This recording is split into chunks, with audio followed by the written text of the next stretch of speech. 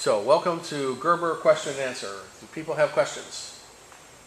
Um, I migrated the project that I was working on from one place to another, and it seems to have uh, caused some weird stuff. Um, this stuff right here, this silk screen. Uh, We're going to have to fix it. how do you? Okay. I don't see that when I actually switch back to the KiCad view. It's probably, co- we'll have to fix it. I, I can't, I can't, you know, we're on video here, so it's, it's, but this is why you do, you always look at your Gerbers. Because sometimes something bad happens. And this is a perfect example of something bad happens, okay? So now we get, now we get to fix it, okay? Um, and I think you already shipped that one off, right?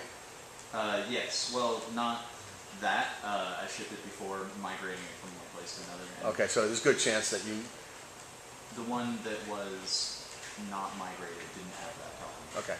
Yeah. Okay. So, yes, this is why we always check our Gerbers because sometimes the, the, the design tool makes a mistake. Other questions about Gerbers? What's uh, the difference between the PostScript and the Gerber format? You know, very few vendors take PostScript or the other formats. Uh, the Gerber format is just absolutely archaic.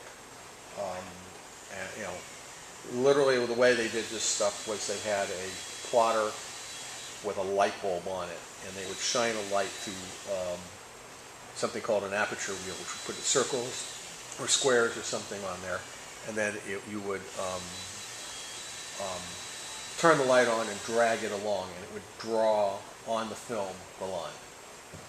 Um, and that's how that's how they did it. And they would frequently do it at double size, and then they would photo reduce that down to get the, the final uh, value. It's, it's that's the way it was done. It's archaic. PostScript makes a way, way, way, way more sense. Are there any vendors that would take Some do, most don't. It Most, worth it to try? If they say they'll take PostScript, go for it. But um, you know, basically all these all the vendors are buying software to manipulate these things, and all the software at PCB houses will take Gerbers. So it's one of those things. It's you know, even though it's archaic, you know, it's, it's the way it's gonna gonna happen. Um, you know, it, it, it happens. Okay.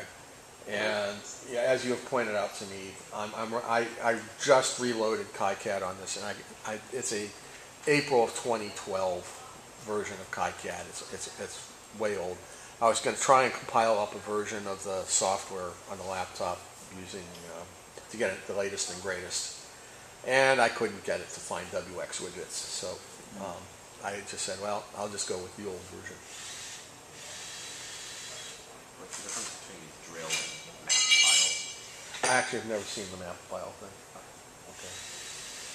Um, Okay, so we're not getting any more questions, so we'll just wrap that up.